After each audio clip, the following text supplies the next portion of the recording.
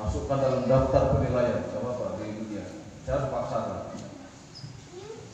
Kalau kalau ada yang kalau masih karena apa? Ini kita melawan setan ini. Ya kita melawan setan. Saya juga berapa kali susah memang membaca Al-Quran ini berat.